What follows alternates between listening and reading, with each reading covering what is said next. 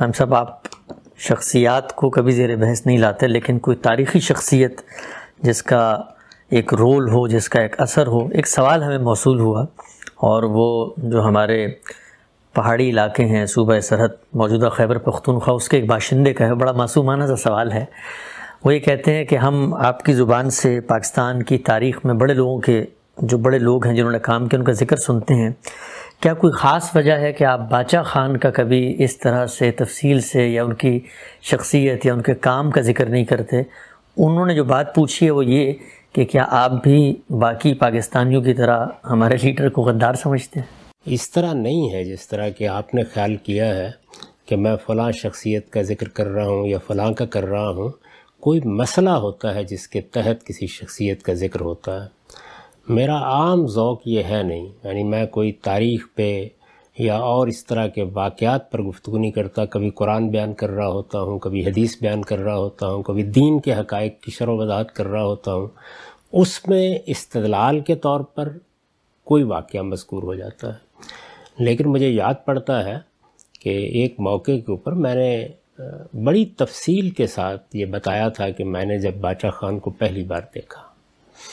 और ये वाक़ इस लिहाज से बड़ा अहम था कि मैंने उनको हमारे अहद के जलीलकदर आलिम मौलाना सैद अबरुल्ला मौदूदी के पास आते हुए देखा पहली बार। उस ज़माने में मौलाना सैद अबरुल्ला साहब मौदूदी बीमार थे। उनके लिए उठना, जाना ये एक मुश्किल मामला हुआ हुआ था। आम तौर पर लोग भी उनकी बुज़ुर्गी और उनकी इस सूरत हाल का लिहाज करते थे। और उसका लिहाज करते हुए ये तो भी नहीं करते थे कि वो उठ के बाहर आएँगे या वो कुर्सी छोड़ेंगे। उनके लिए अपनी कुर्सी से उठकर भी मिलने में मुश्किल होती थी क्योंकि घुटनों का बड़ा मसला था। तो बाचा ख़ान जब मिलने के लिए आए, मैं वहीं था। मौलाना सैद अबुल्ला साहब मौदूदी पाँच ए जैलदार पार्क इछरा में रहते थे तो हम लोग वहीं थे। और भी कुछ दोस्त थे। वो मिलने के लिए आए तो मौलाना सैद अब्ला साहब मौदूदी को पहली बार मैंने देखा कि जब वो रुखसत हुए तो वो अपने कमरे से उठ कर आए और उनको अपने बरामदे की सीढ़ियों तक आके रुखसत किया।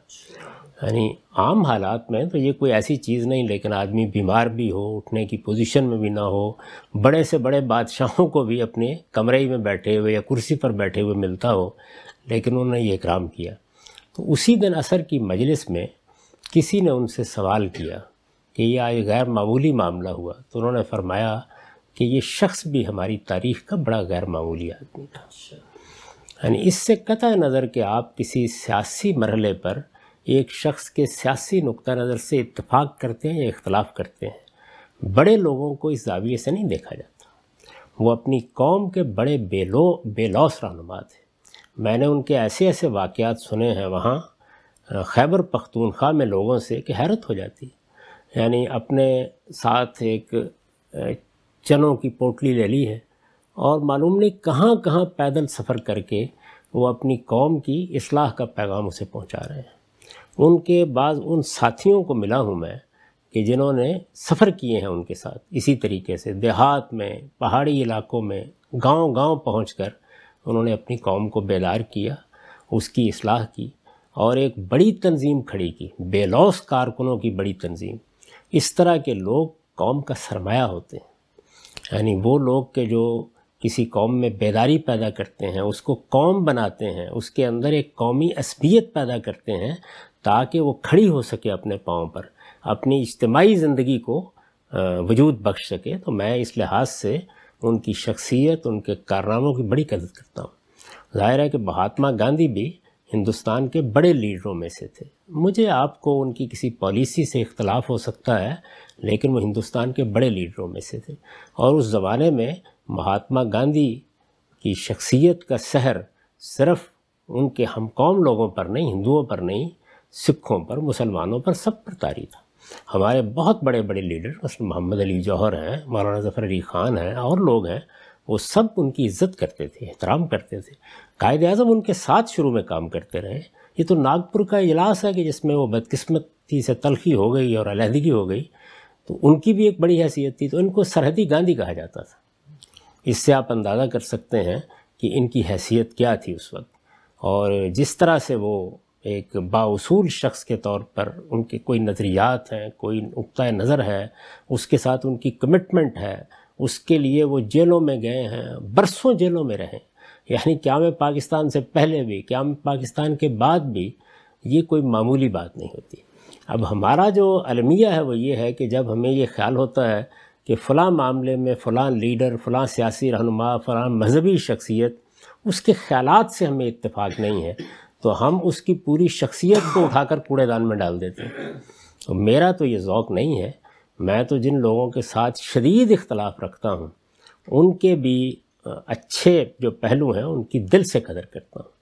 उन्होंने अगर अपने नुक़ नज़र के लिहाज से ज़िंदगी बसर की है तो मेरे नज़दीक ये मामूली चीज़ नहीं है।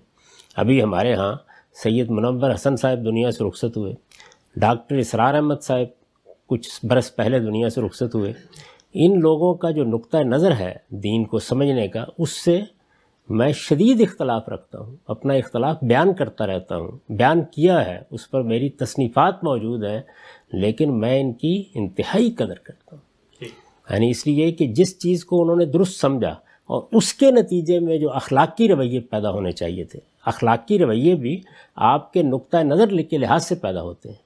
ये जिस रास्ते पर चले उसमें जो जुरत चाहिए थी जो एक अजीमत चाहिए थी जिस तरीके की कमिटमेंट और अखलास चाहिए था अगर उसका मुजाहरा किया वो एक कम्युनिस्ट ने किया है तब भी वो बहुत काबिल इज़्ज़त है। नज़रियाती लोग किसी माशरे के अंदर ज़मीन का नमक होते हैं। वो किसी कौम के वजूद का खुलासा होते हैं। तो इसलिए उनको हमेशा इज़्ज़त की निगाह से देखना चाहिए। तो ये मेरे जो भाई हैं, इनकी गलत फहमी दूर हो जानी चाहिए। मैं उनकी बहुत इज़्ज़त करता हूँ। उनके बाद नज़रियात ख्याल या उनकी तदाबीर से इख्तलाफ भी रखता हूँ। लेकिन वो इख्तलाफ हमेशा शाइस्तगी के साथ बयान करता हूँ। अच्छा हम सब इसी सवाल से मिलता जुलता सवाल है। हमारे मुल्क पाकिस्तान में ये ट्रेंड देखने में आया है, तारीख़ में भी और हाल में भी। और आपने इसको बयान भी किया है कि आज़ादी इसार यहाँ जिसका चलन है, कहते हैं कि काफिर है या गद्दार वतन है। हमारे यहाँ जो गद्दार की असलाह है, आप अगर कोई ऐसी बात कर दें जो मिसाल मुल्क के मजमू थिंकिंग या सोच से मुख्तलफ है या मुल्क के दुश्मन उसकी किसी सूरत में आपके नज़रिए की हिमायत कर रहे हैं। आपने कोई ऐसी बात की कि हिंदुस्तान में उसका खैर मकदम हो गया? तो कहा जाता है कि मोदी का जो यार है वो गद्दार है, या आपने सरहद खोलने की बात की? ये जो गद्दारी का फतवा या लेबल है किसी पर लगाना, दीनी लिहाज से मैं खालिश पूछ रहा हूँ कि क्या इसका अल्लाह को हमें जवाब देना पड़ेगा? दीन तो बहुत बड़ी चीज़ है। ये अखलाकी लिहाज से अपने जहन की पस्ती का इजहार है। मौजूदा दुनिया में आपको ये उसूल सिखाया गया है कि जो कौमी रियासतें हैं, इस वक्त जो बनाई गई हैं, ये बुनियादी तौर पर इंतज़ामी ढांचे हैं। यानी इंसानों को आप आलमी सतह पर एक मुल्क नहीं बना सकते। इस वक्त आप देखिए कि हम यूनाइटेड स्टेट्स में बैठे हुए हैं। यूएस में भी ये मुमकिन नहीं हो सका कि एक मुल्क तो बना लिया गया है, लेकिन रियासतें बिल्कुल ख़त्म कर दी जाए। तो जब आप छोटी वहदतें बनाते हैं या किसी बुनियाद के ऊपर उस तकसीम को कबूल करते हैं। रियासत की तकसीम को आपने कबूल किया ना यहाँ भी? अभी भी कबूल किए हुए हैं। हमारे यहाँ इसी तरह सूबों की तकसीम है। हिंदुस्तान में इसी तरह की बहुत सी सूरतें हैं। ये जितनी फितरी तकसीमें हैं, वो बहरल मौजूद रहेंगी और उनका एहतराम किया जाएगा, लेकिन ये इंतज़ामी वहदतें हैं। यानी एक एडमिनिस्ट्रेटिव यूनिट है जो बना दिया गया है कि इसमें रहने वाले लोग अपनी इंतज़ामिया ख़ुद मंतखब करेंगे अपने आदर्शों के मुताबिक ज़िंदगी बसर करेंगे। उनको अपने मामलात में आखिरी फ़ैसला करने का इख्तियार होगा। उनका हुक्मरान कौन है? उनकी पार्लियामेंट में कौन लोग जाएँगे? कानून साजी कैसे होगी? उनके अपने रिवाज, उनकी अपनी रसूम, उनके अपने यहाँ कोई दीनी अकदार, उनकी अपना कोई उर्फ़ है तो उसकी रोशनी में उनको आज़ादी से ज़िंदगी बसर करने का मौका मिलेगा। वो अपनी ज़ुबान को, अपनी सकाफ़त को तरक्की दे सकेंगे। ये मकासद हैं जिनके तहत असल में ये इंतज़ामी वहतें बनाई गई हैं। ये कोई मबूद नहीं है। लेकिन हुआ क्या?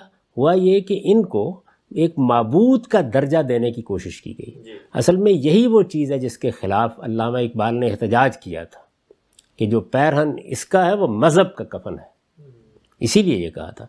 यानी इसका नतीजा क्या निकलता है कि आप गोया उसी तरह के रसूम अबूदियत इनके लिए ईजाद कर लेते हैं वही जज्बा आप पैदा करना चाहते हैं एक फितरी मोहब्बत मुझे अपने वतन से है माँ बाप से है अपने आयज़ा से है अकरबा से है बस उसी का तकाजा किया गया है। इससे ज़्यादा कोई चीज़ नहीं। और गद्दारी का क्या मतलब है? यानी अगर मैंने कोई मफादात के तहत किसी चीज़ को बेच दिया है तो साबित कीजिए ना उस बात को। हम्म। मैं आपसे इख्तलाफ कर रहा हूँ आपकी पॉलिसी से इख्तलाफ कर रहा हूँ आपके रवैये से इख्तलाफ कर रहा हूँ। अब पाकिस्तान में एक आदमी या एक लीडर या एक रहनुमा या एक गिरोह या एक जमात अगर ये समझती है कि हिंदुस्तान के साथ हमारी मुखासमत ख़त्म होनी चाहिए और हमें उसके साथ ये रवैये नहीं इख्तियार करने चाहिए। सियासी सतह पर मामला को जेर बहस लाना चाहिए। ये कोई जंगो जदाल का मौजू ही नहीं है, ना इस मामले में पढ़ना चाहिए। एक नुकता नज़र है। आप इस नुकता नज़र पर तनकीद करें। बरमला तनकीद करें। लेकिन उसके लिए ये गद्दार और इस तरह के अल्फाज बोलना ये अपनी पस्ती का इजहार है। ये कभी भी नहीं करना। इससे नफ़रतें फैल दी। देखिए, ये जो इस तरह की चीज़ें हैं, वो सियासी लोग, फ़लाँ गद्दार है और फ़लाँ ये है, बोलते हैं। और बिल्कुल इसके बरक्स मजहबी लोग क्या करते हैं? ये कुफर है ये शर्क है। यानी इसमें भी एक मुसलमान है वो आपसे एक मामले में इख्तलाफ रखता है। आप आपके ख्याल में कुरान मजीद का किसी हदीस का ये मुद्दा है उसके नज़दीक दूसरा मुद्दा है। तो आज़ादाना तौर पर एक ऐसी फ़ज़ा पैदा करना जिसमें लोग अपनी राय दें, एक दूसरे पर शाइस्तगी से तनकीद करें, शाइस्तगी से इख्तलाफ करें, शाइस्तगी से ये कह कर बहस ख़त्म कर दें कि जी मैंने अपनी बात कह दी, आप इस पर गौर फरमाइएगा। आपने कोई इज्तमाही सतह पर फ़ैसले करने हैं, उसमें दुनिया में इतफ़ाक़ कर लिया गया है, कुरान मजीद के दिए गए इस उसूल पर कि आप अक्सरियत की राय पर कानून बना लेंगे, बस। इससे ज़्यादा कुछ नहीं। जब आप अक्सरियत की राय को फैसला कन मानते हैं तो आपके ख्याल में अकलीत को बहरा अरब में डालाएँगे जी वो भी तो सुनता है। यानी अगर फ़र्ज़ कर लीजिए पचास साठ फ़ीसद लोगों ने एक शख्स को हुक्मरान मंतखब कर लिया है बाकी चालीस फ़ीसद उनके साथ क्या करना है आपने? मार देना उनको। हो सकता है अगली दफ़ा जिस शख्स को या जिस पार्टी को या जिस गिरोह को या इस नज़रिए को वो दुरुस्त समझते हो उसके मानने वाले ऊपर आ जाए। तो ये बाहमी बका के एहसास के साथ जीना एक दूसरे की इज़्ज़त करना और जब कोई शख्स आप किसी आदमी को इंतहाई अहमक समझते हो लीडरों में और किसी हाल में उससे इतफाक़ ना करते हो लेकिन वो मुल्क का वज़ी अजम बन गया है। हम्म। अब उसको इज़्ज़त दी जानी चाहिए। उसका ज़िक्र भी इज़्ज़त से होना चाहिए। उसकी अच्छी बातों की तहसीन करनी चाहिए। उसकी बुरी बातों पर नकद का आपको हक हासिल है। यही जमहूरी स्पिरिट है जिसके तहत हम जिएँगे। लेकिन नक्त करते वक्त या तबसरा करते वक्त आप किसी आदमी की नीयत पर हमला और हो जाएँ किसी आदमी के महरक़ात जांचने की कोशिश करें उसको गद्दार करार देने की कोशिश करें मोटे मोटे अल्फाज बोलकर उसकी ज़ुबान बंद करने की कोशिश करें ये अपनी पस्ती का इजहार है अपनी गलत तरबियत का इजहार है। इस वक्त भी आप जब सोशल मीडिया पर कभी देखते हैं तो बिल्कुल हैरानी हो जाती है यानी लोग गलीज गालियाँ दे रहे होते हैं अपने मुखालफी को। उनकी नीयतों पर हमले कर रहे होते हैं। तो हम सबको मिलकर, यानी ख़ास तौर पर मजहबी रहनुमा, दानश्वर इस इसी तरह सियासी जोमा, उनको लोगों के सामने तनकीद की शाइस्ता रवायत ज़िंदा करनी चाहिए। बताना चाहिए लोगों को कि ये तनकीद की शाइस्ता रवायत है जिससे इलम भी आगे बढ़ता है और जिससे इंसानों के दरमियान मोहब्बत भी पैदा होती है। उनका बाहमी एहतराम और उनकी इज़्ज़त लोग बार बार कहते हैं, उम्मत को मुतहद होना चाहिए। आप दो फ़िरक़ों को कहें कि आपस में लीडरशिप एक कर लें आपको मारने के लिए तैयार हो जाए। उम्मत मुतहद होनी चाहिए और दोनों तकरीरें कर रहे होंगे। दोनों के लीडर तकरीरें कर रहे होंगे। रहनुमा इसके ऊपर मैं हमेशा ये कहता हूँ कि उम्मत तो मुतहद पता नहीं होगी ना होगी आप इख्तलाफ करने के आदाब सीख लें। असल में इतिहाद की वहदत की बुनियाद इससे पैदा होती है। यानी मेरे लिए इस वक्त डेढ़ अरब के करीब मुसलमान हैं वो सब मोहम्मद रसूलुल्लाह की उम्मत है। उसके अंदर दीन के ओलमा मेरे ओलमा हैं। दीन के आइम्मा मेरे आइम्मा हैं। साइंसदान हैं दानश्वर हैं वो मेरा असासा है। उन सब की मैं इज़्ज़त करूँगा। जहाँ मुझे ज़रा सा इख्तलाफ हुआ मैंने उठा के उसको उधर फेंक दिया उसको उधर फेंक दिया बाकी फिर रह कितने जाते हैं?